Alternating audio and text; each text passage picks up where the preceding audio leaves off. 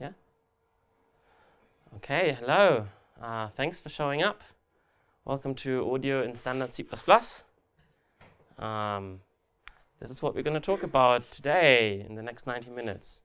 So we're going to look at uh, you know, whether there actually is any audio in C++ today and what you can do with it. And then uh, the next section, actually, can I ask who here is actually professional audio kind of developer or has done audio stuff before? Okay, three people. So, okay, so for you, the first half an hour will be quite boring. This is like the basics, you know all this. For the rest, uh, this is where we're going to explain how audio actually works, like on a very low level, so that we all know kind of what we're talking about here. Uh, so we're going to talk about sound waves, about uh, how do you represent an audio signal digitally in a computer, how audio I.O. works, how do you communicate with your sound card, and then a little bit about kind of how you build on that um, for some functionality. And then kind of the meat of the talk is the um, kind of second half here, which is um, the um, proposal for actually um, an audio API for the C++ standard library. So we're going to look at the API design, what classes are in there, what interfaces are there. We're going to look at, um, I'm going to give you an update on the latest state of this proposal, which is R2, which is still in progress. And then uh, we're going to look at the reference implementation, and we're going to do a live demo. So I'm going to show you some actual running code, because we have implemented this. Uh, this is where it usually all goes wrong if you do live demos during talks. So you know, don't expect stuff to work. Um, and then kind of a few more slides about like what's next. And um, yeah. So um, let's start. So audience here with us today. Uh, all notebooks, all desktops, all phones, all the phones that you have in your pocket, all the stuff that you have on, on your table have audio input and audio output. A lot of embedded audio devices also have audio, at least audio output. Even if you have like a microwave, it's probably going to give you a sound at some point. So I would say that most or a lot of devices that run C++ actually are capable of audio I.O. and it's part of their functionality. Um, and actually audio is really, really important for a lot of areas where C++ is used. So obviously, if you have any kind of user interface, you know, with some buttons or whatever dialogues, then you want to have some sound to reinforce, uh, you know, your interaction with that user interface. Um, obviously, if you have software to make calls or to communicate in other ways, typically you will have audio in there as well. Uh, obviously, if you're actually playing back sound, if the whole point is like streaming a song from the internet or just playing back a file, then this is also audio. Um, games are unthinkable about sound. Imagine how boring a video game would be if you wouldn't have any sound. Um, and then um, there is this pro audio domain, which is kind of what I do, which is music software and software for music production and software for music performance. So basically software for musicians and producers and performers. Um, and then there's other areas like creative coding, if you have installations or if you have art. A lot of time there's some code running there, which, and there's also audio in there. Audio is used for research, for science, and also audio is great for education. You know, when you know kids learn how to program, it's really cool if they can make sound with their program. That's that's pretty good. Again, you can't even code like a simple video game without it. So what I would say is that audio is one of the basic aspects of human-computer interaction. Right? So imagine, like, you know, one of the simplest uh, um, games, for example, uh, something like this, uh, which has been around for a lot longer than I am alive. Um, so imagine, what do you need to implement this? You need um, a screen that you can draw into, so you need 2D graphics. You need some kind of user input, like keyboard, mouse, or joystick, or buttons, or something like that, and you need sound, right? So you need some kind of feedback that if the ball bounces back and forth, you're going to get some, some sound effect that tell you what's going on. So you always need these three things in order to even do the very, very simplest things. So um, what I would like to, I would like to live in a world where we can do this in standard C++, where you can take a compiler out of the box and you can build something like this with it. Where are we today? So, question to the room. Can you write a C++ program today just using standard C++ that makes sound? Um, doesn't matter. Like, can you make a portable? Yes. Well, you have the bell character. Yes, you have the bell character. so you can try this if you. I mean, I tried it on my MacBook uh, an hour ago. It actually does make beep, right? So, and probably on Linux and Windows, it's going to do the same. So we can actually make sound in C++ today without any third-party stuff. Okay, let's let's go back to this. Is this enough to to do this? It turns out not quite. So in order to do even this, you already need two different sounds, right? So you need one sound if you successfully, if the if you hit the ball successfully, and you need a different sound if the ball you know goes off the edge and, and you lose. So you need two different sounds for that. So you can't even do this in standard C++. I think we can do a bit better. And actually, we are doing a bit better because obviously audio is widely used in C++ today. So how do we do that? So first of all, all these operating systems, they give you native audio APIs, right? So on Windows, you have a bunch of them. You have Wasapi, you have ASIO, you have uh, Direct Sound. Some of them are deprecated. On, on Apple operating systems, you have Core Audio, which is their um, sound framework. On Linux, again, you have um, a bunch of options, with ALSA probably being kind of the lowest level and most widely available one. And then on Android, you again have a bunch of APIs uh, that you can use. Um, and then if you want to do cross-platform stuff, which is obviously what you want to do if you want to use C++, or a lot of us want, then there's a bunch of cross-platform middleware. And then that this is what you will need to use if you want to um, do sound across different operating systems. And depending on um, you know, your industry and what kind of uh, application you're developing, you're going to use different things. So there's some general purpose things like SDL, PortAudio. Um, if you're into games, you're probably going to use something like Fmod or Wwise. Uh, if you're in pro audio, which is kind of my domain, uh, the most popular one is JUCE. Um, a lot of companies don't use JUCE. They have their own in-house uh, frameworks that basically do these things. Um, interesting is that many of these APIs, both the native and the, the kind of middleware ones, are actually not C++, but they're C. Or if they're C++, they're kind of more like C++ 98 kind of stuff. Or some of them on Android are even Java APIs. And the other really interesting thing about all of these APIs is that at the low level, what happens uh, kind of inside is always the same. Like, how do you represent audio and how do you get audio in and out of your sound card is pretty much the same everywhere. And the way this works hasn't really changed since several decades. So ever since the computers became fast enough to do audio in real time, somewhere in the 90s, this hasn't really changed. Um, so, you know, there's more like different high-level things, but at the low level, what, what's going on is always the same. And it feels like C++ uh, is the perfect language to, to do this. Right? So here's a quote from, from Bjarne. Uh, C++ is there to deal with hardware at a low level and to abstract away from it with zero overhead. And it's surprising to me that for audio, you don't quite have this. Because for me, it's like, this is a, a great use case for this. So we have obviously all these audio libraries, but we don't have anything uh, in the C++ standard. So um, what do we mean if you say low level? So let's briefly talk about what's kind of the lowest, the lowest level if you talk about uh, audio on a computer. So obviously, what is audio? Um, let's start with sound waves. Uh, if you have something vibrating, like this tuning fork here, then this is going to push the air, and then what basically sound is, is like traveling waves of variations in air pressure, right? And then um, when we hear this, we have this ear, and then what happens basically is that these waves that consist of variations of air pressure is going to hit our eardrum. The eardrum is going to vibrate, and then that's going to uh, excite all these different bones, and then the signal is going to go into the cochlea, and then it's going to be picked up by these nerves, and eventually it's going to arrive in our brain. So this uh, idea with the waves and kind of the membrane, if you go to the um, kind of computer world, um, the microphone pretty much works the same way. You know, we have sound waves, and then the microphone, there is a membrane diaphragm inside, which vibrates pretty much like our eardrum.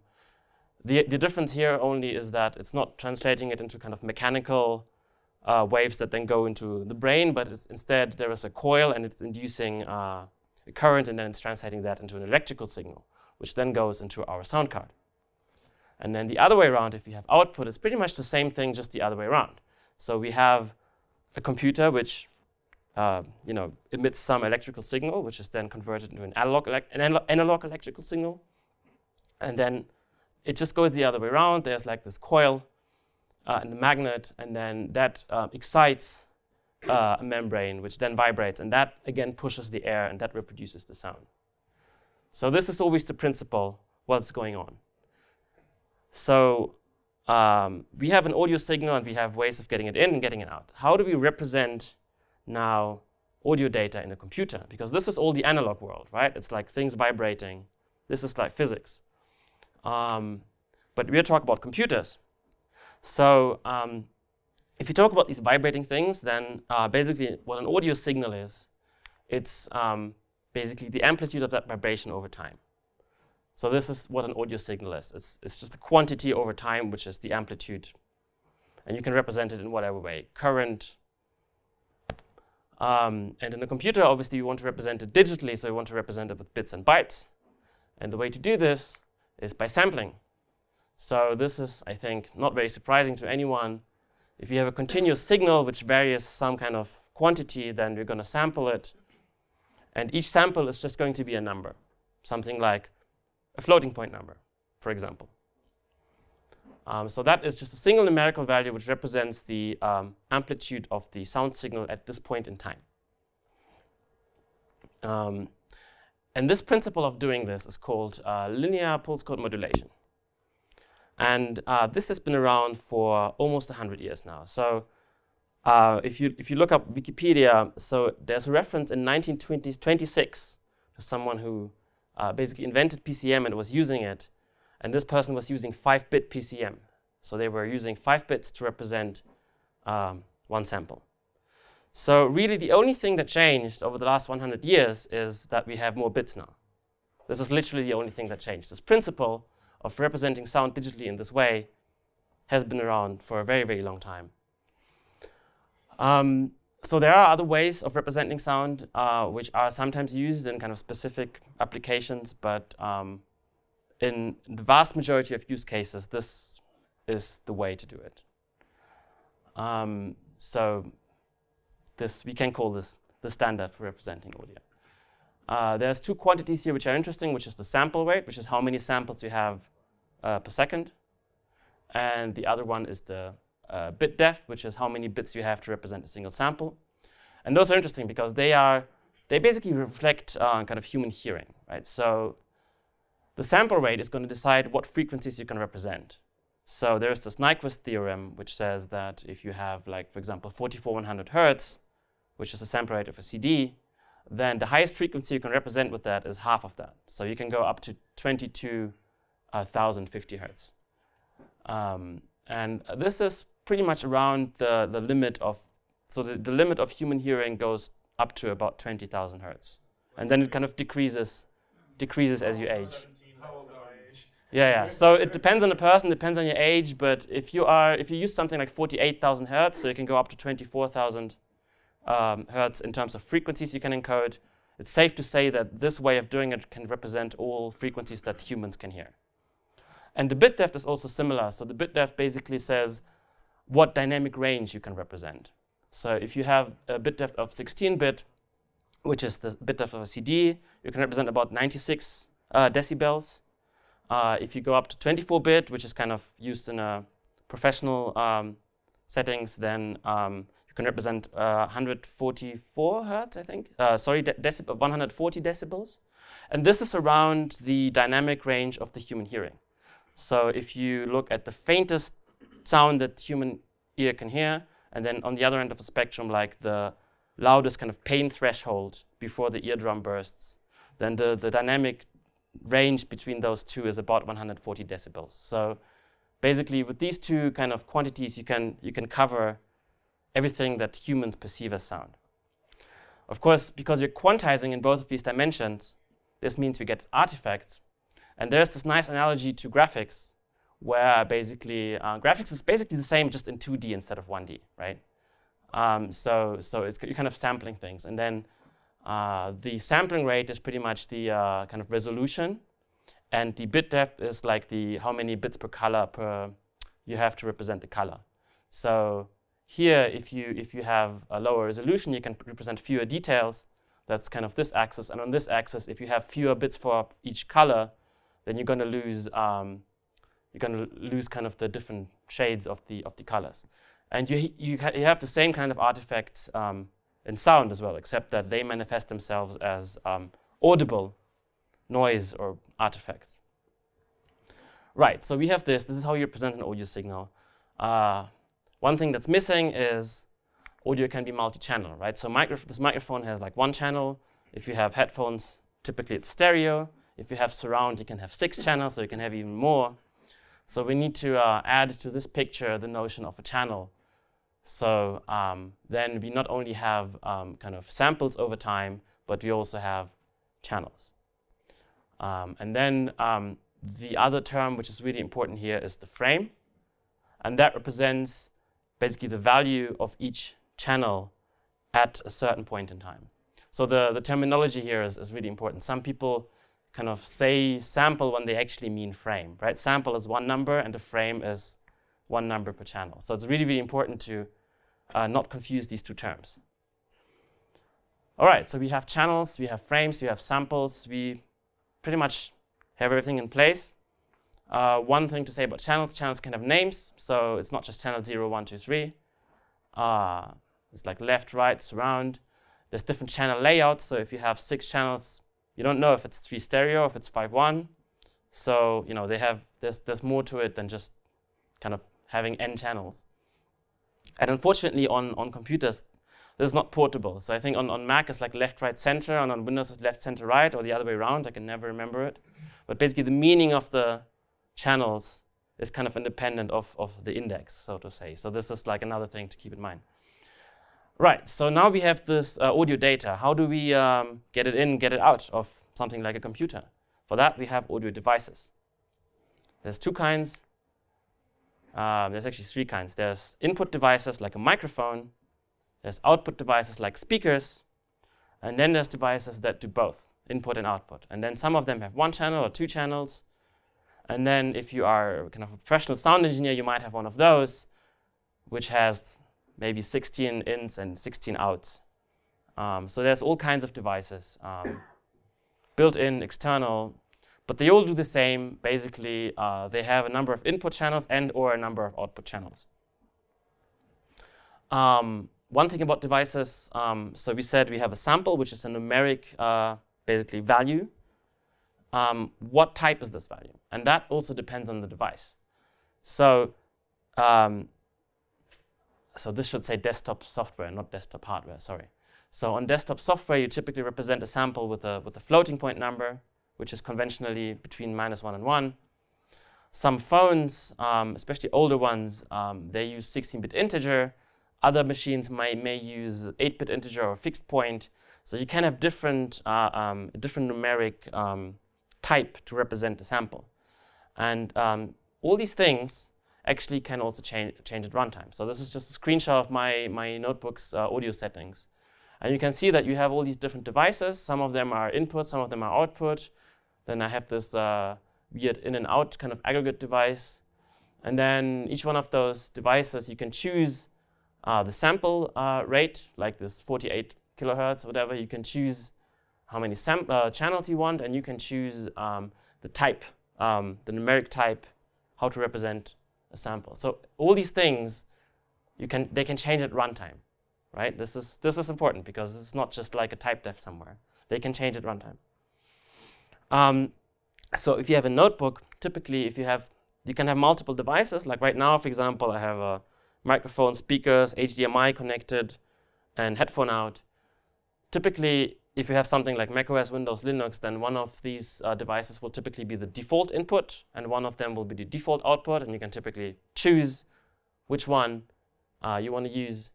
Or um, an app might just use the default, or an app, if you have a more advanced uh, audio app, then you might, the user might be able to choose which device they're going to use. Like for example, if you have something like, I don't know, Skype, then you can go into the preferences and choose a device which is not necessarily the one that's configured um, in, the, in the operating system settings.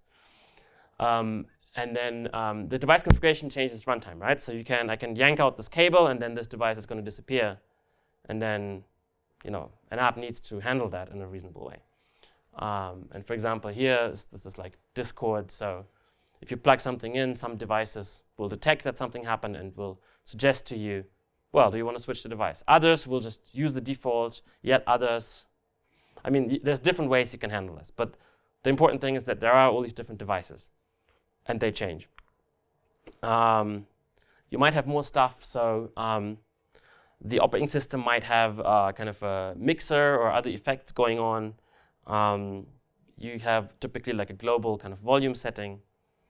And then uh, this is kind of a more advanced feature. Um, some kind of driver APIs allow you to use uh, exclusive mode, which means that if you have an app, it's going to be the only app that's talking to the sound card. And then you're going to be directly uh, uh, writing out basically the, the signal that goes out, out to the speakers. The normal case is the shared mode where you have different apps running and each one makes different sounds and then the operating system is going to mix them all together and that's what you're going to get as the output.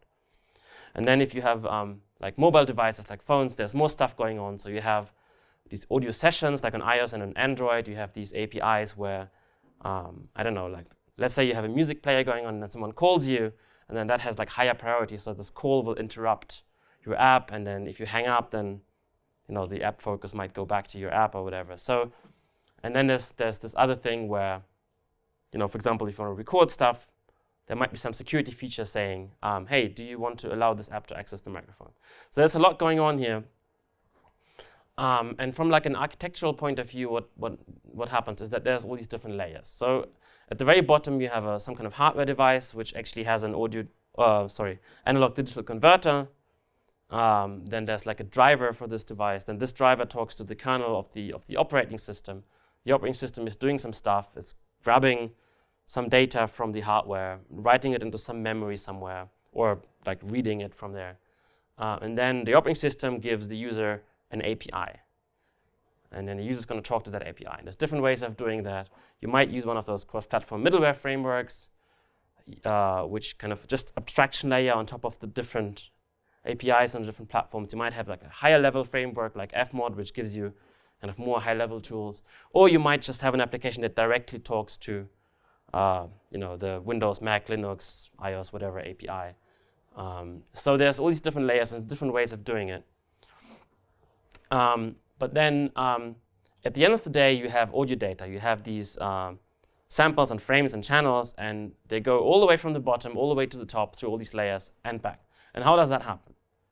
So um, if you have a sound card, each sound card has one of these, which is a little quartz crystal, which is a timer. And then it also has somewhere, you know, some buffer with memory where the data goes. And then what happens is that uh, thanks to this timer, you're going to get a callback through all of these layers. And this callback comes in regular intervals. So, um, and, and the other thing here is that um, the audio is done in, in buffers. So um, we need to add one more thing, which is kind of the last term that we need here to this picture. So now we not only have samples and frames and channels, but we also have a buffer, which is basically a chunk of, of this stream. Um, and um, basically, this is a 2D array of numbers, right? So you have channels and you have uh, frames. And basically, what a buffer is, it's a chunk of 2D, it's a 2D array of, of some numeric type. That's what it is. And the reason it's done in buffers is, well, so you get this audio callback, and it would be very inefficient. Remember, the, the sampling rate is something like 48,000 frames per second. So it would be very inefficient if you get 48,000 callbacks per second through all these layers. That would not be possible. Um, so what you get is you get fewer callbacks, and each callback is giving you a chunk. Now here's a trade-off here, because if, if um, basically if you use bigger buffers, then um, you have like less, um, it's less expensive to, you have less calls, so you're going to consume less CPU, but you're going to introduce more latency, right, because you're buffering. So the bigger the buffer is, the more latency you're going to have. And if you're just playing back a file, like a music file maybe, doesn't matter. But if you're if you're performing music, for example, you're playing a keyboard and you want you expect your notebook to uh, play what you're playing, um, then latency is really annoying. Like the latency of like 30 milliseconds or 50 milliseconds is something that you're going to notice uh, if you um, if you play your keyboard. So it's really important to keep this latency down. Um, so typical values for these buffers are something like 128 samples, 256 samples, or 64 samples if you really want to have like low latency. And that means you're going to get a callback every one or two milliseconds, something around that. This is kind of the, uh, the, the time frame we're talking about. Um, and um, this is actually typically if you have like a more kind of professional audio application, this is a screenshot of Ableton Live, then you can set this buffer size and then you can choose this trade-off between kind of CPU load and latency. Um, so one more thing uh, about these buffers. So we said it's a 2D array. 2D arrays have two ways you can order them, right? There's row major order and column major order, like which dimension around. The same with audio, except that we call them differently. So we have Let's say we have two channels, left and right. So there's these two different ways of doing it. You can have an interleaved buffer, which basically means it's frames first. So you're going to have channel 0, channel 1, and that's your first frame. And then channel 2, channel 3, this is the second frame. Or you can do it the other way around, where you have, like this would be a buffer with four frames, and then you have all the, all the samples for the first channel, and then all the samples for the second channel. So these are the two different ways of doing it. And then um, this callback that you're getting from the sound card, you're going to get to read this buffer if it's input, or you're going to write into the buffer if it's, if it's, output. And this looks something like this. So this is uh, how you would write callback in one of those uh, middleware frameworks. So you get this callback, which is just a function. You get like a pointer to a pointer to like the input buffer and a pointer to a pointer to the output buffer. So this is like a 2D, 2D array, remember? And then it's going to tell you how many channels you have and how many frames you have. And then you can fill that buffer. Um, so here, um, for example, you would um, this is like a very simple uh, algorithm where you just write like a sine wave, which is just like beep, like a very boring kind of tone with a stable frequency. So you're doing kind of a sine wave, so you just generate, you're looping over the frames and over the channels, and you're just writing numbers uh, into this into this array. And this is how, like at the low level, how it's often done. Um, so this is kind of I mean, in 2019, kind of looks maybe a bit ugly. So there's like row pointers to pointers. There's a lot of parameters. This is basically C code, right? So a lot of audio code is written this way, where it's kind of C++, but the actual code is like C compiled with a C++ compiler, or maybe a few C++ features. But a lot of people write code this way. Um, so which is why I think, you know, it's important to um, maybe think about whether we can give people a more, more modern APIs to do this kind of stuff. Um, and one more important thing about this audio callback. So you're going to get this callback through all these layers of APIs every, I don't know, one, two milliseconds.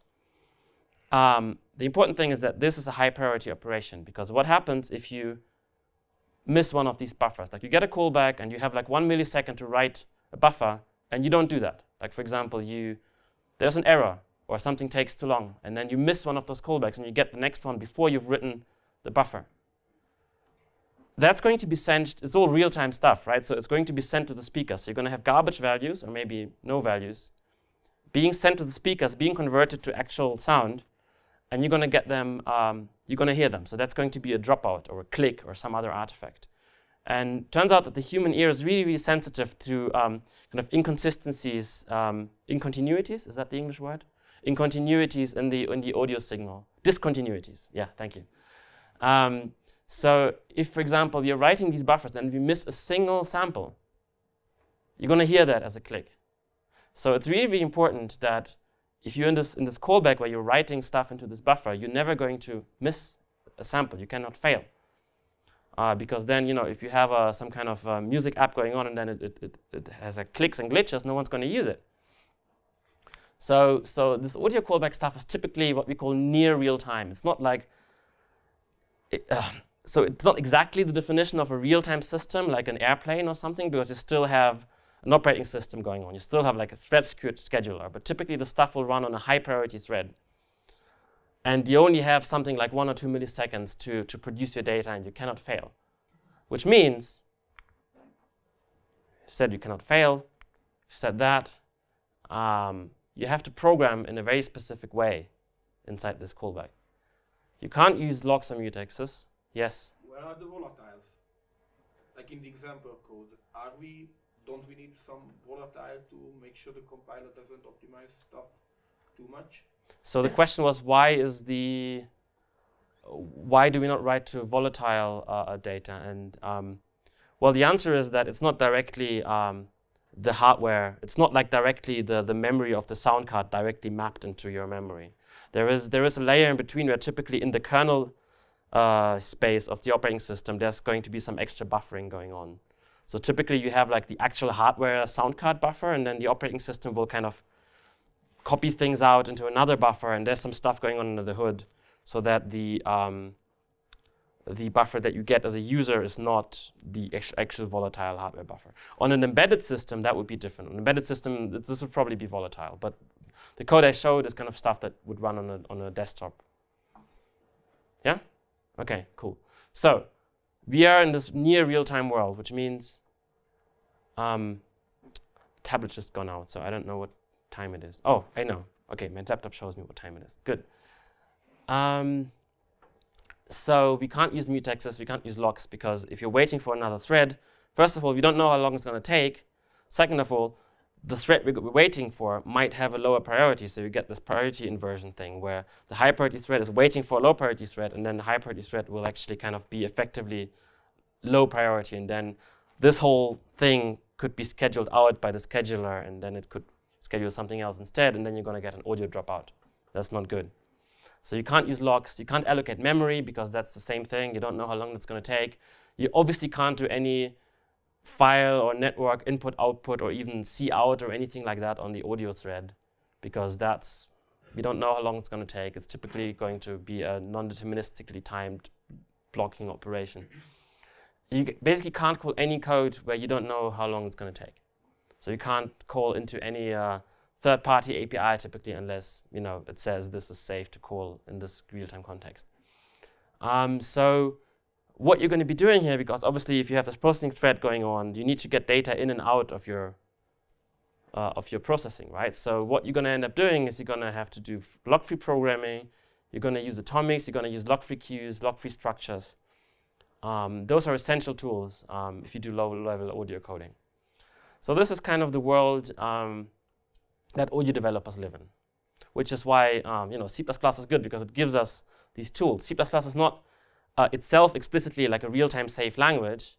Like you can't say in C++, okay, this function you know is declared to not take longer than a millisecond. You can't do that in C++. But C++ gives you tools so you can ensure these things via the way you write code. Because you know we don't have a garbage collector, we do have atomics and all these things, etc. Okay, so, um, but you know, this is kind of the low level. But a lot of people who are not kind of professional audio developers, when they see this, they say, "Oh, this is all. I don't really care about this stuff. You know, this is all. This happens under the hood. I don't care about this. You know, what I want, I want to be able to do this. You know, this is what like most of the time, if I talk about the stuff to like non-audio people, this is what they say. I don't care. I just want this. Give me this, and then I'm going to be happy. Well, so how do we how do we do this? How do we actually play back a file? So now we talked about how, how kind of how it works. So now think about it. It, it you know it, it looks like it should be the simplest thing, but what do we need to make this happen? Okay, so first of all, we have this audio processing thread. We talked about this, right? So we have this uh, actual sound card, which is an actual kind of timer going on, and you get this real-time callback. Then you get like a buffer, you generate some samples, uh, you probably need to resample them, for example, if you um, play back a file and then the file is you know, recorded in one sample rate and your uh, machine is configured to another sample rate, you need to resample it. So even just to play back a file, there's going to be some uh, number crunching going on. Then you need to keep it between minus one and one because then you get, otherwise you get glitches again or you get distortions. So you need to kind of clip it. So you have all this number crunching going on. And in the end, you have to write the result into this buffer. And then, um, so this is how you kind of push the data out to the speakers. And then the data comes from a file because we are, we are playing back a file. So what you need to do is you need to read the actual file, the actual WAV file or MP3 or whatever you have. You need to decode because it's not raw samples. It's not the format we discussed. It's some kind of compressed format or at least kind of packaged up in some way. So you need to actually decode it, do a lot more number crunching if it's a compressed format. And you can't do that on the audio processing thread, right? Because this is file I/O. This is like non-deterministic. It's not real-time safe. So the question is, how do we how do we connect these two, right? To just um, even play back a simple file. And the answer is, well, you need to buffer it. You need to have a lock-free buffer, right? So you're going to read the file on one thread, decode the wave or MP3 or whatever, and then you get these frames and buffers. You push them to this. So this buffer, this is not the audio buffer. It's like um, the word buffer here I use in terms of what I mean is a lock-free lock-free FIFO, right? So you push some samples onto this FIFO, and then on the other on the processing thread, you you you pull you pop them. So this way, it's it's lock-free. And this is you have to do all the stuff in order to just play back a file. Now, the interesting bit is you can do almost all of the stuff portably in standard C++ today, right? So to decode a WAV file, maybe you want to use some library, but at the end, you're just reading from a file and you're doing some numeric operations. Lock-free queue, we can write that in C++. It's, there's one in Boost, you know, there's uh, all, the, all the rest, we can do that. The only bit that we cannot do portably in C++ today is this. We cannot read and write from and to an audio device without using um, basically third-party um, libraries that talk to uh, proprietary native non-platform, uh, basically platform-specific APIs. So this is the one bit that is not portably doable in C++ today, unless you use proprietary software, um, which, which is going to be outside of the scope of the standard because um, you know, you're talking to some operating system specific API. So I think this is unfortunate because you know we got file system now in the standard, we got network, we will get at some point hopefully networking in the standard. And this is another one of those, you know, input output things which is just not portably doable today. Um, so the question is, does that belong in the standard library? And this is um, from, uh, I think, uh, some slides from Bryce, who's the uh, LEWG uh, chair on the committee, where they had this discussion about uh, what belongs in the standard library. Well, okay, so standardizing existing practice, right? So things that belong in the standard are things that have been designed, they're not going to change, there's not going to be any groundbreaking changes in what the way it's done uh, stuff that people have implemented, that people have experienced with, people have used. And then um, things that go into standard library need to address a clear need. So either they're like very, very commonly used functionality like a vector, or it enca encapsulates non-portability, like file system, networking, etc. Or it's difficult to implement correctly, or it requires language support. And if you look at audio, it certainly fits all of these boxes and it certainly also uh, ticks those two boxes. So again, if you look at this uh, quote, I think this low level is a good candidate for the C++ standard library. Which brings me to the next section of the talk, which is a proposal to do just that. So um, this is kind of, uh, maybe I have some time to um, kind of tell a little bit the story about this. So uh, I did a talk about how you do audio in C++, um, like in general, uh, at CppCon in 2015. And then I was kind of, after that, I was thinking, like, in back of my head, I had this, this thing that maybe, you know, someone, someone should write a proposal like this. But I didn't really have time to, to um, uh, do it. And then I thought, ah, the committee is not going to be, it's like too niche anyway. So I, I didn't spend time on this. And then in 2016, I, I joined the C++ Standard Committee and I met Guy Davidson, whom some of you may know, who is the author of the graphics 2D, one of the authors of the 2D graphics proposal, which is another one of those things that are not portably doable in C++ today. And, and we started talking, um, and, and we started talking about audio somehow because kind of we said graphics, uh, kind of user input and audio, those are kind of the three things you need to basically do even the simplest kind of app.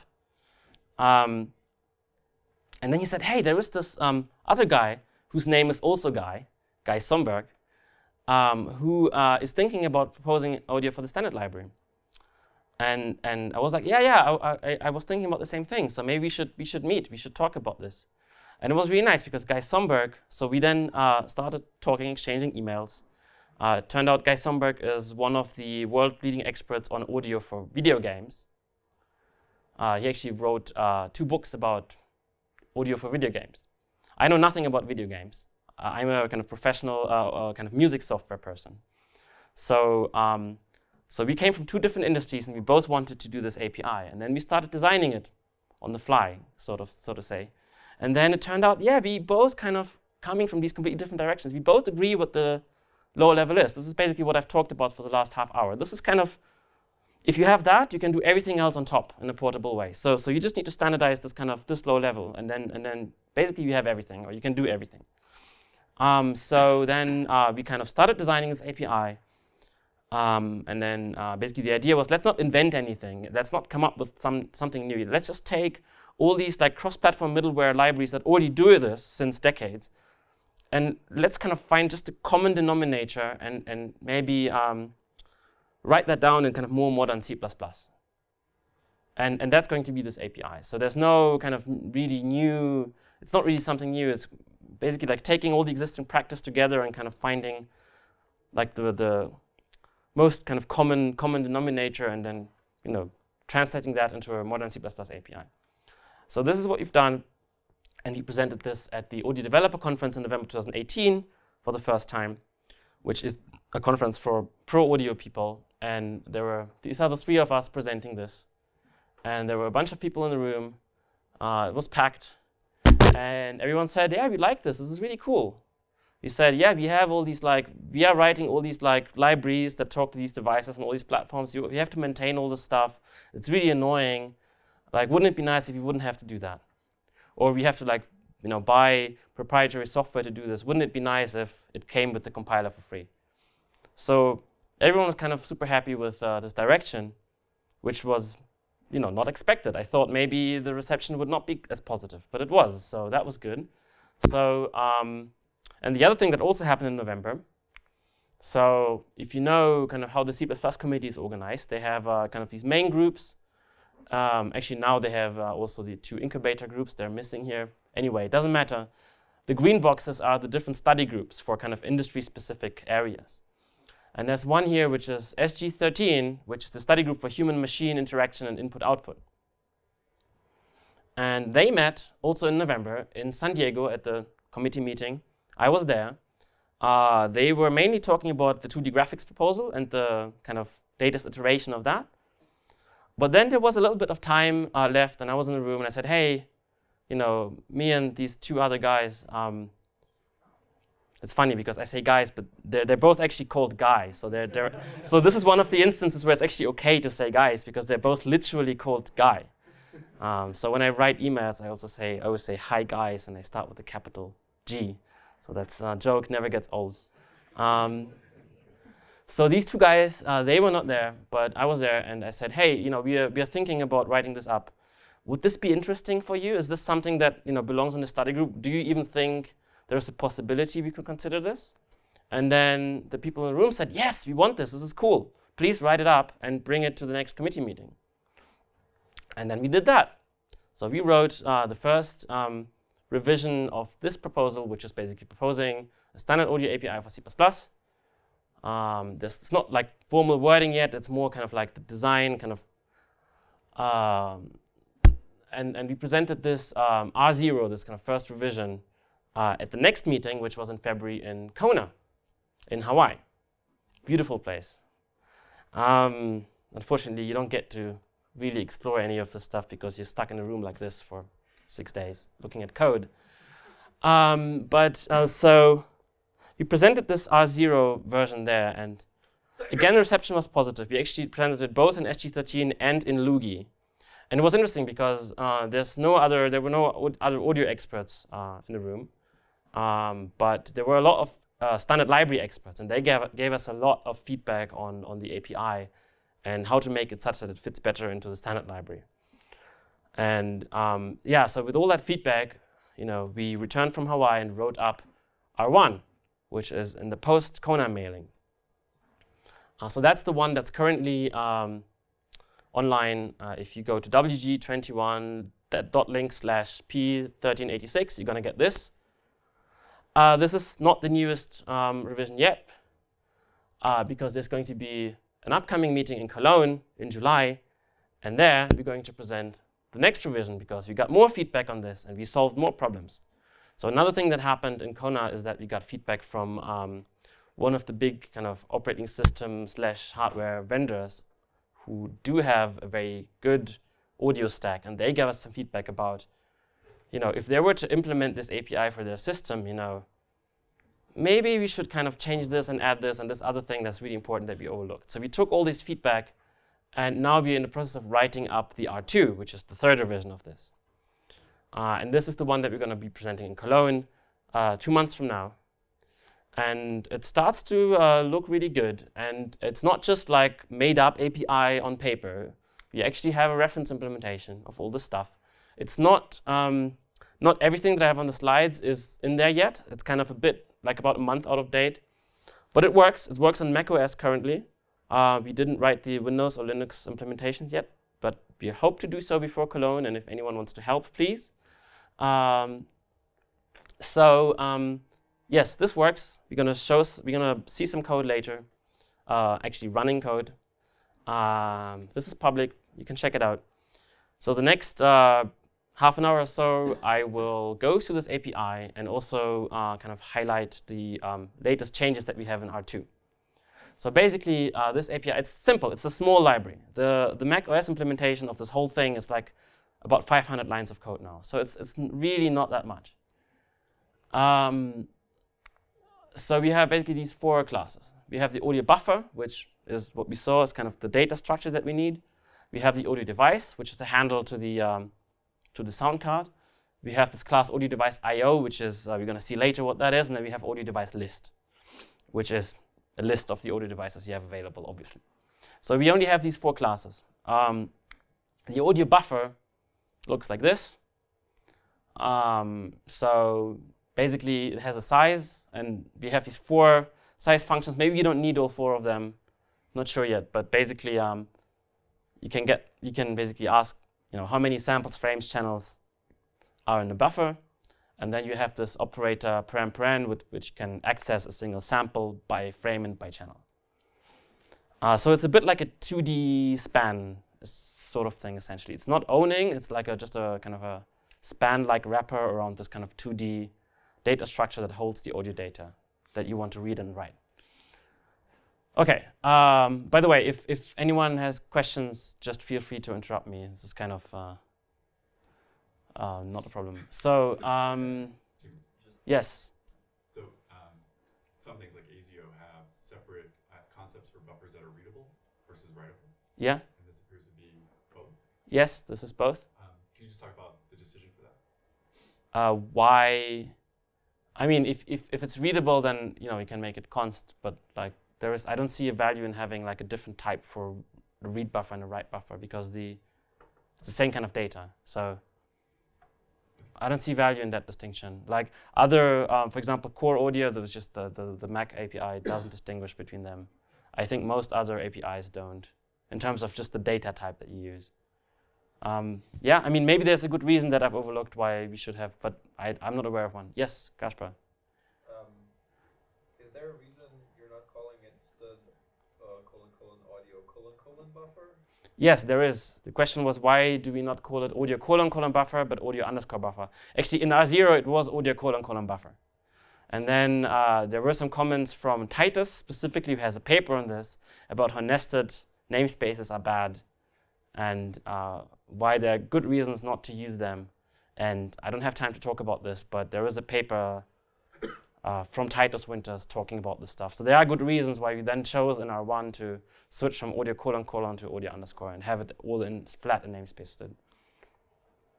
Um, so yes, Andre. Um, begin end like iterator interface. I think there was one at the beginning, right? Yes, we're gonna talk about this later. Okay. Um, so yeah, there is no iterator interface. There's just this operator thing, which is basically uh, the same interface as mdspan, which is not in C++20. Unfortunately, it just didn't make it, but hopefully we're gonna um, get it in C++ 23, which is mdspan is basically a multi-dimensional version of span, and it, it has the same interface. It has this kind of operator colon colon, uh, sorry, operator paren paren, and it has no iterator interface. There's reasons for that. We're gonna we're gonna come to that later. So this is uh, similar to, to mdspan in, in this sense. Um, right. The second important class is the audio device, which is the, your handle to the actual sound card you're going to be talking to. So what do we need?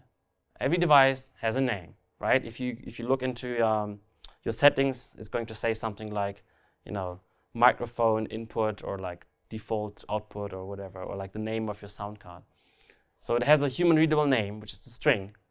And then that's not quite enough because you can, for example, have uh, two, uh, if you have like an external audio interface, you can have two of the same kind and they would, on some platforms, they might have the same name, but you still want to distinguish them. So they also need IDs. So every device also has a unique ID. Uh, the, the concrete like integer type to represent this is, is not important. It's like some integer type. And then it has these properties. So it's either an input device or an output device or both. And it has some input channels or some output channels or both. Um, so if is input is false, then get num input channels is going to be zero. Nothing surprising here. Right. Then it has some the, of these uh, properties. So it has a sample rate. Right. So sample rate, that's actually interesting. So you would think sample rate would be an integer, but actually on some platforms it's a, it's a double. Um, so um, we say, okay, this is just a type def, some numeric type. Um, so you can obviously get the sample rate, you can set the sample rate, and then not every possible sample rate is supported. Typically, you only have like three or four options, so you want to be able to uh, basically query which ones are supported. Um, and then maybe you can display them as options or whatever. And then the sa same stuff for the buffer size. Uh, so this is another property that you want to set and get. Um, again, nothing surprising here. And then how do you actually talk to it? So um, we said it's kind of this kind of callback thread stuff going on. So you need to be able to start the device and stop it and, and see if it's running. And now this is kind of, uh, if you're used to kind of RAII in C++, this might be weird. You might expect that you want to start the device in the constructor and then stop it in the destructor. And actually it does stop in the destructor. But there's reasons why you don't want it to start immediately. There's reasons why, for example, you want to uh, get the device, get a handle to this device, and ask it, okay, can you use this sample rate? Can you do this? Can you do that? And then set the parameters in the way you want and then start it. And this is how it is in the published version, in the R1 version. Turns out this is not quite uh, what we need here because um, this doesn't work.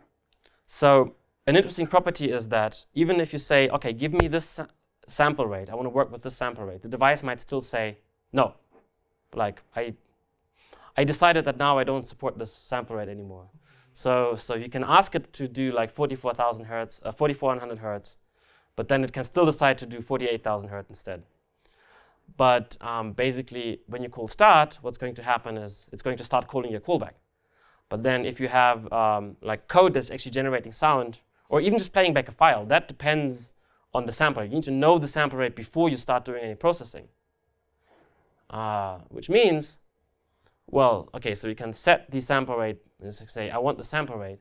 But then if you actually do start, what you need is you need a callback, uh, and then the device is going to start, and that's typically going to happen on another thread.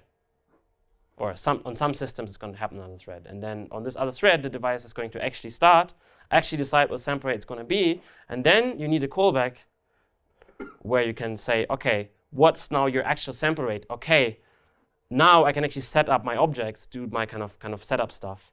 And after that, I'm ready to do processing. And then the device starts calling your callback. So this is why you need the start stuff. And you need also a stopped callback as well, because you want to want to clean up some of your resources. And you might ask yourself, why is the stopped callback not in the stop function? And the reason is the device might stop not only when you stop it yourself, but also if you just yank out the cable or something else changes on your system, the device might stop before, like you can't control that. And, and so you, you need to get this asynchronous callback when that happens.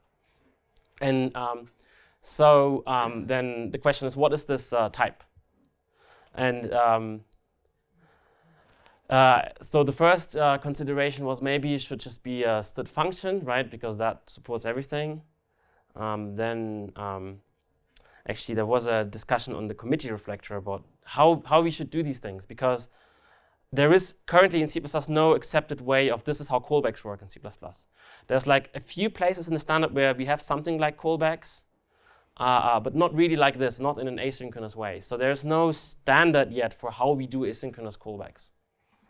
Uh, there is some work being done, uh, like for networking, for executors, but this is really kind of different for a number of reasons. Um, like, for example, uh, what the uh, kind of async people do is um, they have kind of more sophisticated ways of doing callbacks where you can kind of control whether it's synchronous or asynchronous, and you can uh, kind of uh, control, you know, whether you're going to synchronize it with locks, and also there's a way of getting errors. None of this is needed for audio because you don't control what thread this is going to be on. Um, you're not going to want to use any locks or mutexes or any synchronization implicitly. Uh, and also errors, you don't really need errors because, well, if, if the device didn't start, you just don't get the callback. So, so this is mu much simpler. Uh, but anyway, like what, what should this type be? So um, set function is probably not good. Uh, in C++ 20, we're going to get this um, new one, any invocable, which is essentially a um, uh, basically non-copyable function and plus a few bug fixes. It's this uh, this paper.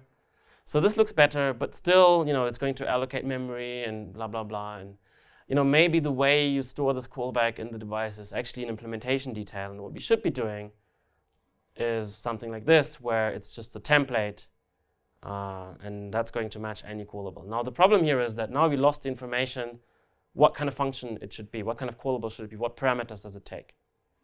And please correct me if I'm wrong, but I believe the solution to this in C++20 is to just introduce a concept for that and saying, we have a concept and we have this audio device callback, which is like any invocable that takes basically this kind of parameter, and then uh, you just have this, uh, you just take one of the, you just take any type that matches this concept. Unfortunately, I have to write template blah blah blah requires because this is this case where we have the same concept twice, but they can actually be different types. So you can't express this with the shorthand syntax. So this is an example where you need the, the long form. Wait, wait, wait. No, no, you, you can because we reversed that, right? Like the, the two don't have to, they aren't coupled now. Oh, yes, you're right. So I can actually write audio device callback auto started, audio device callback auto stopped, Yes. Uh, and they can, yes, of course. You Thank you. Yes. Okay, so you don't need this long form, you can just write it shorter. Great, but this is essentially what you need to do. And I think this is the correct way of doing these callbacks. Please correct me if anyone has a different opinion on this, because this is really important. What do you end up using to store it? That's an implementation detail. I will probably use uh, this std invocable, but internally, you're not going to see it as a user. I think that's the correct way of doing it. Yes. Uh, Michael. Does that then imply that it has owning um, semantics? Yes, so this would have owning semantics. Like if you so so if you have a um, I don't know some kind of lambda or whatever, you just give it to the device, and the device is going to store that internally. Does that mean you should get it by value? Well, it means you're going to get it by ref ref, which is exactly what happens here. And you I can think- use that graph. Wouldn't it be better to get it by value? Um, If you're if you're gonna get an owning copy, You want to. you don't want an owning copy; you just want to move it in. Michael. And it, is there a reason not to use something like a function ref or a non-owning Um, interface? Mm, let's discuss it. Let's discuss it later. I just wondering if it was a So so yeah, may, maybe maybe this is not the only way of doing it. This is the right way to do No, it. this is the right way. Okay, I think this is the right way. It is. Okay, cool.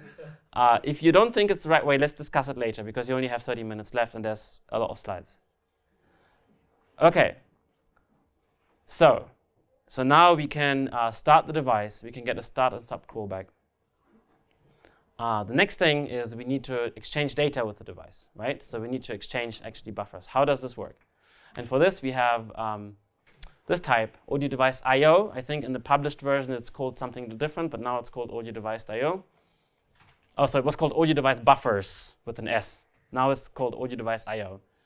And this basically contains all the data that you're going to be exchanging with the device. And in the published version of the paper in R1, um, it just contains uh, basically your input buffer and your output buffer. And typically, you're only going to get one of those, but in some cases, you can get both if it's an input and output device. So this is why they're optional. And this is in R1. And then one of the um, pieces of feedback we got from, from uh, uh, vendors is that, well, you're missing uh, a very important uh, use case here, which is uh, you're missing timestamps. And they're really important.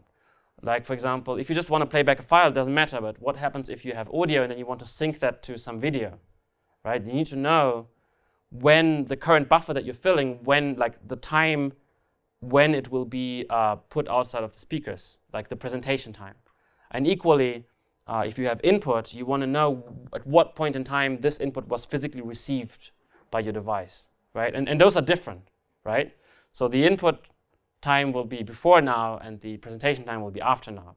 Imagine also if you have kind of input and output going on, imagine you have something like, um, you know, you're, you're talking into your microphone and then that goes out the speakers, so it has kind of round trip latency, and then you want to you want to do a feedback suppression. So you need to kind of know what the latency of your system is, right? Um, which is why in R2 we introduce timestamps. Um, and this is going to be the time when the buffer was received and the time which is the system's best idea of what the presentation time of this buffer, of the output buffer is going to be. And they're also both optional because you might be on a system where you don't have that information. Um, yeah, so that's the uh, audio device I/O class. Is this what you get in your callback? This is what you get in your callback. So this is the second type of callback. It's the audio I/O callback, and that's the really important callback. That's the one that you actually use to do stuff. Um, so um, what you can do with this device is you can say, hey, I want to connect this callback, and that's going to be the actual processing callback, the, the thing that actually makes sound. And then that is um, has this signature, and here I'm using the short form syntax, and I'm going to use that in the other one as well. This is really nice. I love this feature. Um, it really changes the way you design library APIs. It's, it's wonderful. Um, so um, this is a callback that takes a reference to a device because you might want to ask the device what it is. And, and then it takes a reference to this audio device I.O. which contains the buffers and the timestamps. And this is, this is what you're going to get. Uh, you're going to see that in actual code in a minute. But um, yeah, so this is kind of the most important call. You have one of these callbacks which is actually doing stuff, and then you say, connect this to the audio device.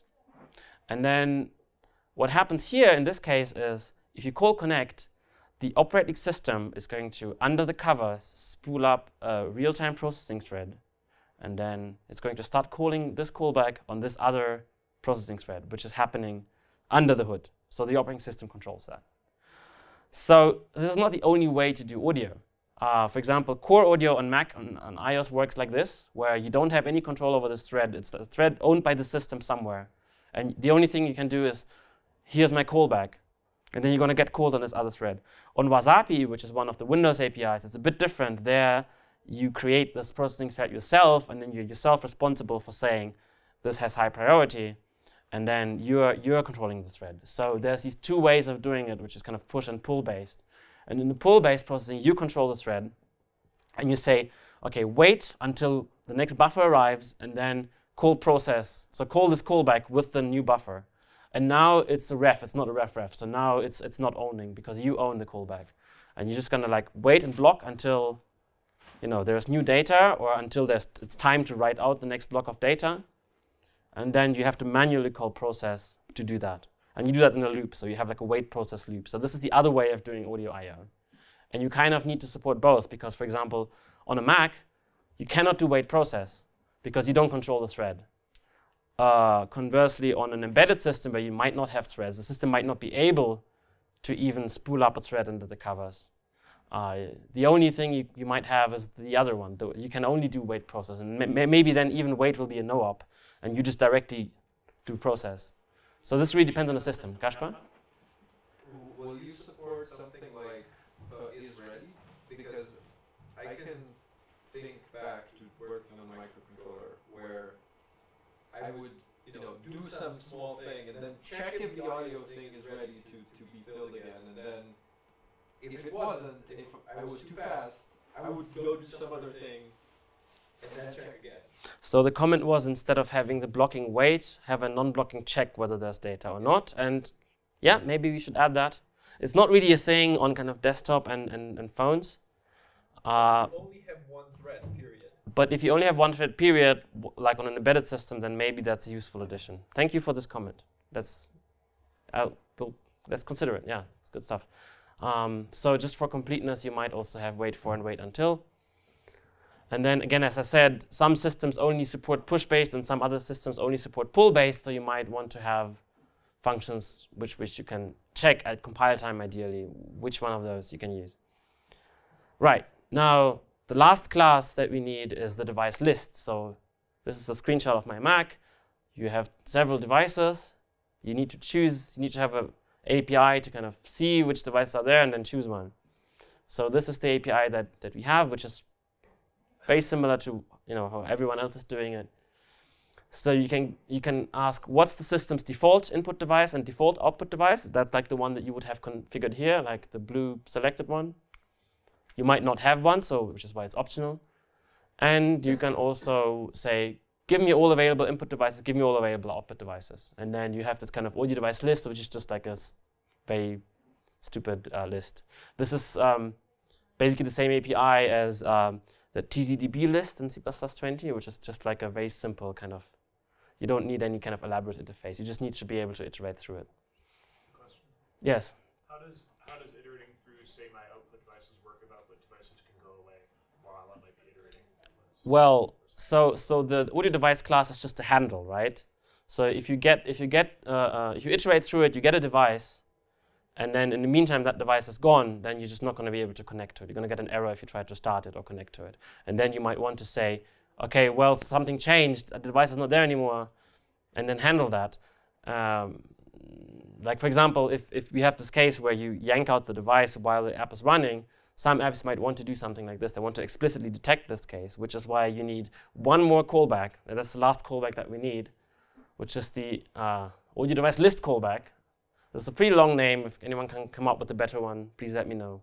But you need a callback if the list of audio devices changes. And, and this solves the problem that you just mentioned. Right? So if while you're iterating through it, this is all kind of thread safe, right? Because the handle, if the device goes away, like the handle is kind of still there while you iterate through the list. Because you, you get this list, this list is going to be stable, this is not racy. But then while you're doing that, you might get this callback, and then you might want to throw away the list and get a new version of the list, and then iterate that again. What's gonna, what, what is gonna call this callback?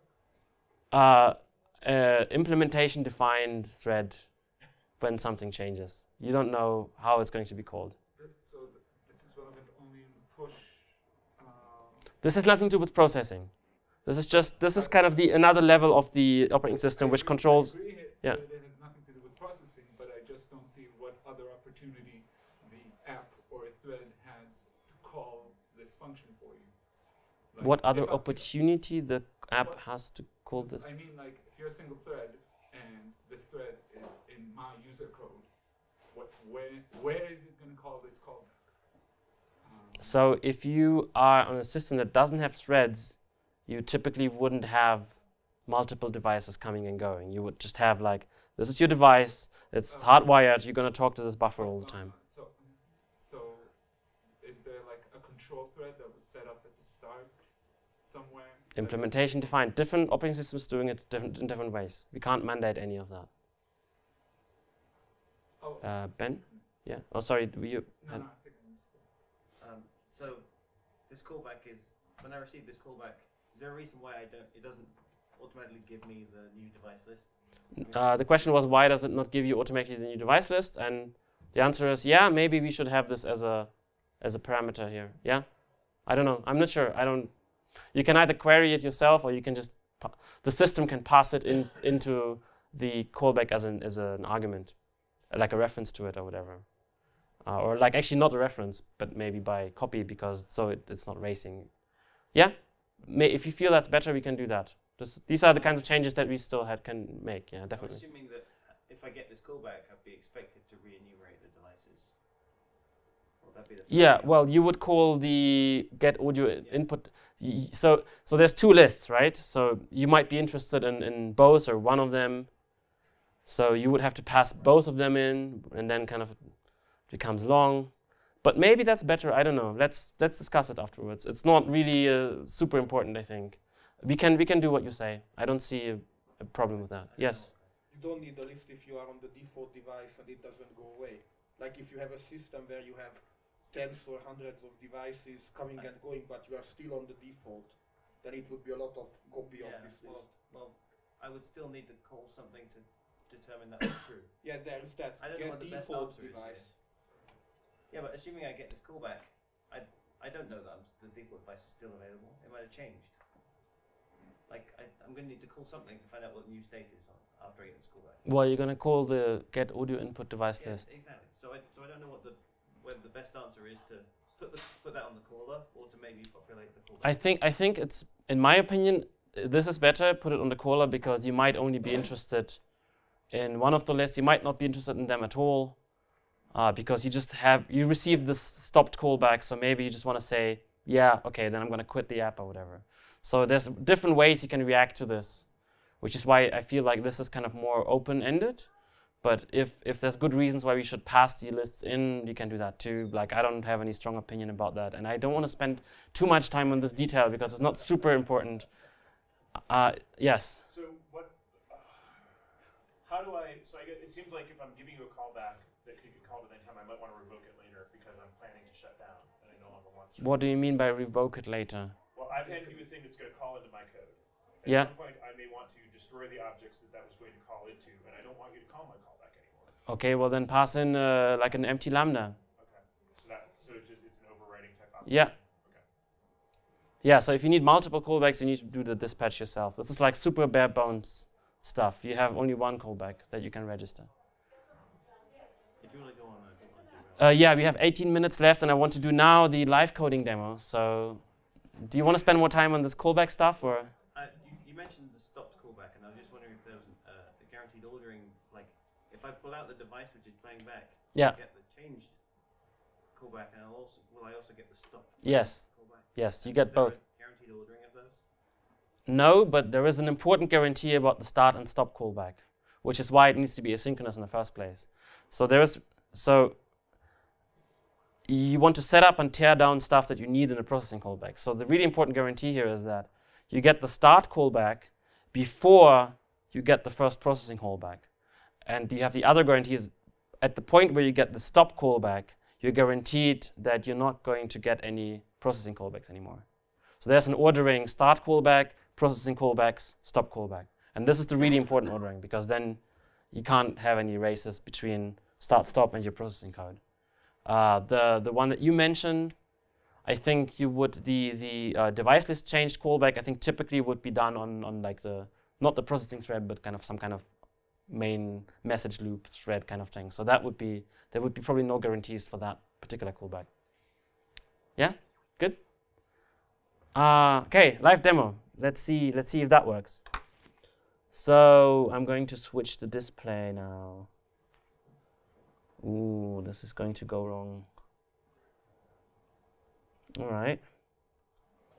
So this is probably very small, so I should um, I should um, huh. Is this better? Yeah, I think this is better. Uh, right. So, um, so this is the library. Again, it's on GitHub. Um, here it is. This is the URL. You can check it out. You can play with it. That's cool. It's also very lightweight and small. And apart from some of the R2 things that I mentioned, everything is in there. Um, okay, so first, first app is really, really um, simple. Actually, that's incorrect. That's two seconds. So this is all. This is everything there is. This fits on one screen. So we have this include audio stuff, which is really cool, I think. And it's currently in namespace std experimental. Um, and then what happens here is, okay, you have a, so this is generating white noise. So this is basically just taking the buffer and writing random numbers between minus one and one into it. So there's not nothing complicated going on. So we need to set up our little random generator and then we get the default audio output device. And then, oh, I, I didn't mention this explicitly, but the uh, buffer has a template parameter, which is the sample type, which means that the callback also has the same template parameter, right? So by, by connecting a callback that has float, you're saying I'm requesting float as a sample type.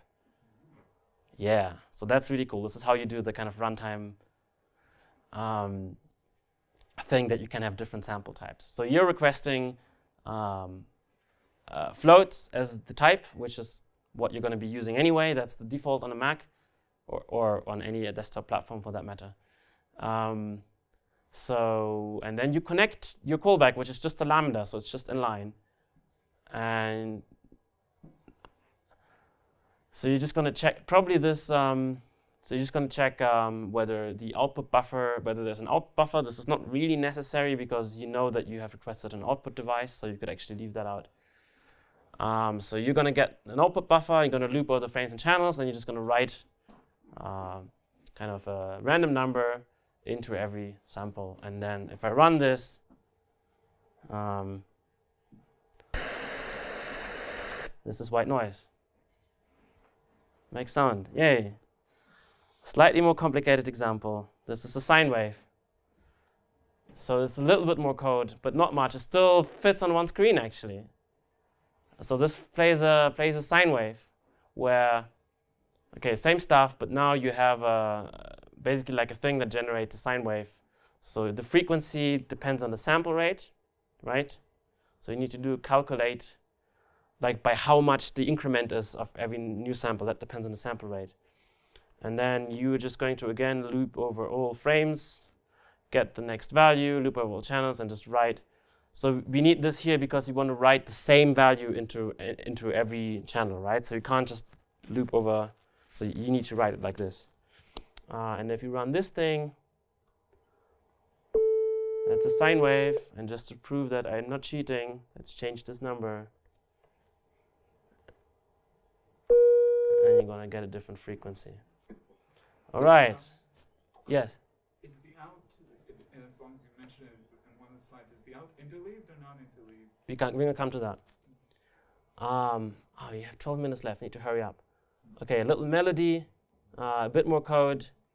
So what this does is it has a bunch of notes, and then it has a little synthesizer going on, which creates like a. It's this is a very crude and not optimal way of creating a square wave, which is typically what you would get on old sound chips. This is still just 90 lines of code.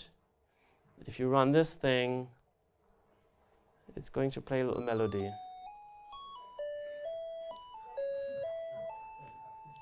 And you can actually write this in half the code by using, by wrapping this thing into like a coroutine instead of a struct, uh, which is really cool, but um, I'm not going to show this now. Um, so, oh yeah, this is the kind of boring one, print devices. So what this is going to do is it's just going to do the device iteration thing. So it just, you know, enumerates the devices and tells you how they're configured. So it's kind of this thing. So this this is a little example to um, for for these device lists. And then the last um, example is something that uses input, uh, which is the level meter. So it's a very crude way of measuring the uh, input volume. So what this does, it iterates now over the input and kind of just calculates kind of the average absolute value of the samples in some regular interval. And this, uh, funny enough, doesn't run uh, in the debugger here of, of CLion because apparently macOS, you ne- the app needs kind of like the permission to access the microphone and somehow it doesn't work inside the debugger. I, I haven't figured out yet why. So if I run this, uh, I'm not going to get anything interesting. So I need to run this uh, on the in the terminal outside of the debugger. I don't know why. Um, so I'm just going to quickly do that. Um, right, so this is now outputting the current uh, level, and if I do something like this, you see the number goes up. So it measures the, um, and if you, if you would do this in a little bit more clever way, you could have like a proper level meter. Uh, all right, so th these are the examples. This is the implement, like so. This is kind of the implementation. The Mac implementation is this stuff. Has about 500 lines of code. That's it. That's the whole thing. Let's go back to the slides. We don't have much time. Um,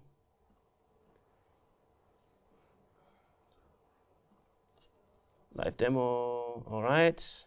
All right. So this is what we have now. I think this is cool.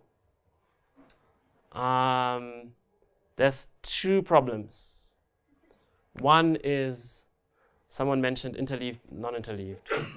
so yes, there are two different possible um, ways how this audio buffer can be arranged.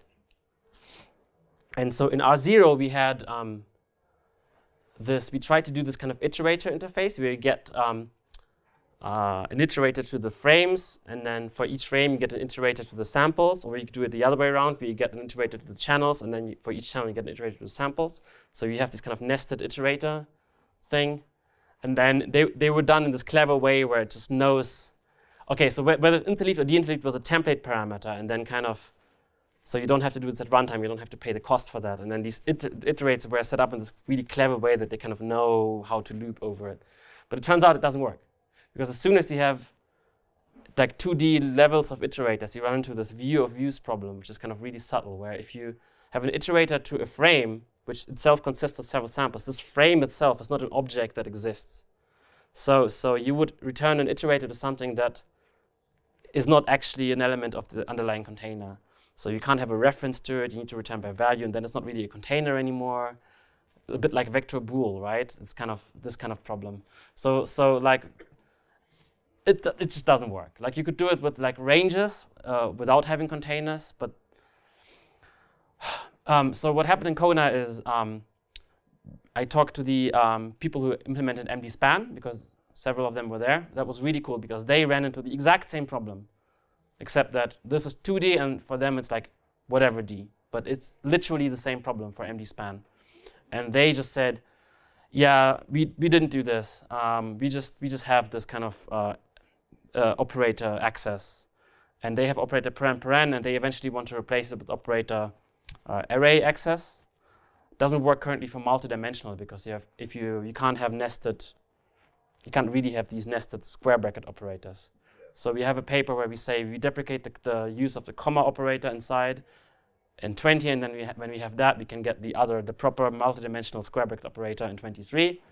But we're not there yet. So in the meantime, we have operator paren paren, and this is exactly what the mdspan people use. So after Kona, the R1 version, which is currently public, we said, okay, screw this iterator interface. We're just going to do mdspan. So audio buffer is just going to be like a wrapper around. So the underlying thing will be just mdspan. It's going to have the same interface. And that was fine until uh, we forgot another problem, which is in audio, if you have interleaved and deinterleaved, typically interleaved buffers are represented like this, where they're contiguous in memory. But deinterleaved buffers are typically like this, where they're not contiguous in memory, but you actually have another array which has pointers to these. So it's like an array of arrays thing, but it's not necessarily contiguous in memory. And typically interleaved would be contiguous and deinterleaved would be non-contiguous. And then you're facing the problem that you kind of have to represent both interleaved, deinterleaved, and also contiguous or pointer to pointer all in the same type. And then we had like another template parameter, which was whether it's contiguous or not, and then it became really horrible. You can kind of do this in mdspan by hacking the, uh, like I think the fourth template parameter of mdspan lets you kind of hack around this thing, but it's just not, it's not, it's not really working. So, um, so what existing audio APIs do, they either do, you know, they say interleaved contiguous, or they say, okay, it's deinterleaved non-contiguous, and you get pointers to pointers. And practically all audio APIs just say this is what we're using. Uh, or at least they have two different types and you can kind of convert between the two. The only one I'm aware of that crams both this and that into the same type is Apple, which have this audio buffer list uh, uh, type. And it's really, I, I think most people don't understand how Apple's audio buffer list really works. It's really not obvious. I didn't understand it for a very long time. So it's not um, something that we would like to put in a modern C++ API. So how we solve this problem in R2 is we just say, okay, we have this audio buffer type, and then um, the underlying layer is implementation defined. We don't care. And then also this means that you can't create one of those because you don't know what it is. So you're just gonna get this from the system, and you're gonna be able to uh, iterate over it, you know, using this access operator. But it's implementation defined whether how that is stored, and then if you want you know, you, you want to do different things when you want to, like, if you want to play back a file, you want to do interleave because you're going by frames. If you want to do like an algorithm where you do like an FFT, you want to do it per channel, where you have like the whole channel as a chunk and you kind of FFT it, do some stuff, FFT it back per channel. And if you want to do this kind of stuff, then what you need to do is you need to take this and then you know, copy it out in the right way into one of your own containers, and there you know what the layout is. And there you can do what you want. And, and then you don't have a problem, it's portable, it's fine. Yes, Andre. It would be good to have something then, because if you have just this, single interface and if you, if you want to copy it out efficiently, you would actually access it sample by sample. Maybe you want to have like copy two or something. I mean, it's not nice, but if Yeah. you want to be efficient fast, I just, if I just think about some people at my company, then this would be an Yeah. So the problem with this interface is that you don't know which way. So there's different ways of looping around this thing, and you don't know which way is going to be the most efficient one. So you might want to have some additional methods to query that. And yes, maybe, probably. Let's talk about that later. I, I have not decided yet what that would have to look like. Maybe you have an idea. Let's talk about it afterwards. Gašper. Um, I'd like to be part of this conversation. Yes, let's have this conversation. I, I'd love to have this conversation. Um, and the next problem is a more nasty problem where, so on some systems like Windows, this is again a screenshot from um, Ableton Live. Uh, on some systems like Windows, you have more than one API you can talk to, right? And, and, and they have different properties. Like on Windows specifically, you have ASIO, which is kind of the older API, which um, basically offers you lower latency, which, which makes it's important, right? It's, it's an important property. Uh, but then not all sound cards might have an ASIO driver. So then you have the kind of more newer APIs, which support more devices, but then they have ba- basically not quite as good performance characteristics. So if you're doing professional audio stuff, you might want to choose which driver API you want to use. And then each one of those comes with its own device list, right? So, um, and then also you might, you, so you might have these different drivers, and you might have even another driver which kind of a null driver, which just does nothing. So, so you have like one more level, right? You have kind of devices, a list of devices, and then you have a list of drivers, and each one have a list of devices. And you can do this at runtime. Uh, this is what, like for example, JUCE does. It's like a runtime thing, where you iterate through. Um, you can iterate through the different drivers, and then, but then, it. It, it's not really C++ in, in, in a standardized kind of way. So what we try to do is we try to do it at compile time where well, okay, so we have these like now driver types, and then um, basically you have like a default driver, which is you know going to be one of those, and then you have the other ones, which are kind of implementation defined, um, and then the audio device now is a template on the driver type. So you can do it at runtime or at compile time, right? So if you do it at compile time, if you do it at runtime, you're going to have polymorphism and all this stuff. If you do it at compile time, you're going to have this. And then the, the device is going to have a template parameter, which is the driver type. The device list is going to have a driver type uh, parameter. The, all, th- this whole API, every one of those methods will have a driver type uh, template parameter.